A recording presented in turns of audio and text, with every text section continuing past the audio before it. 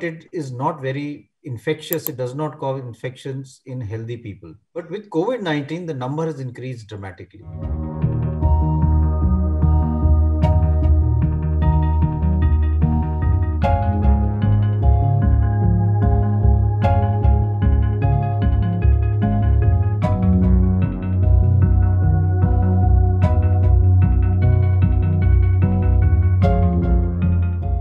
definitely there is an increasing trend in fungal infection being seen in the last few weeks um, in patients with COVID-19.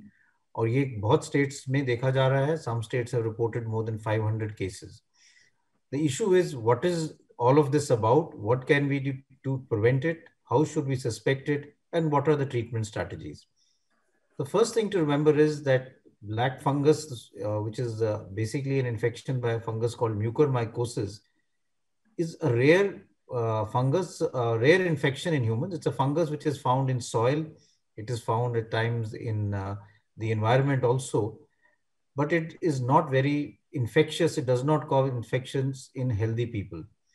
Before COVID, we would occasionally see fungus with uh, this mucormycosis in patients who had poor control of diabetes, who had underlying transplant and were on drugs post-transplant, or cancer patients who are getting chemotherapy.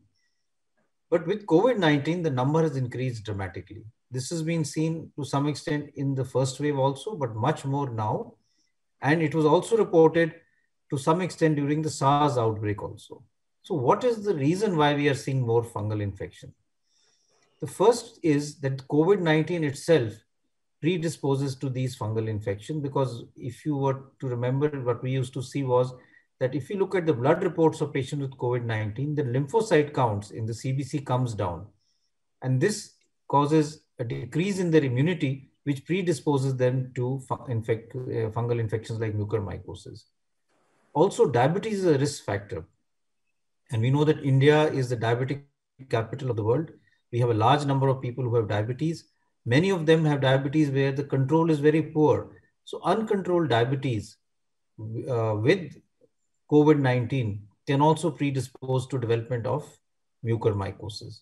The use of steroids has become much more in this wave than it, what it was in the last wave. And steroids being given when they are not indicated in mild or early disease can also cause secondary infection. This has been documented very well in the recovery trial, which showed that patients who got steroids early had higher chance of secondary infection and it was associated with higher morbidity. Also, the dose of steroids. Some people are given very high dose steroid, which is not indicated and which can also predispose to high blood sugars and also higher chance of getting mucor uh, infection. And thirdly, the duration of steroids. If steroids are given for a very long time, it also predisposes to secondary infection like mucormycosis. Certain other drugs which also decrease immunity, like tocilizumab, should also be given carefully because they also can predispose to fungal infection, especially mucormycosis.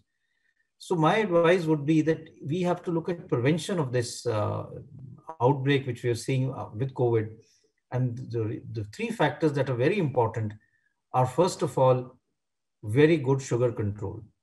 We must have people who are known diabetics must take extra steps to make sure their blood sugars are controlled. Those who are not having diabetes but are put on steroid must monitor their blood sugar regularly because many turn out to have high blood sugars and many turn out to be diabetics, although they were not aware of it. Along with this, we should be careful about when we give steroids. Uh, the indications are very clearly mentioned in the guideline. They should not be misused.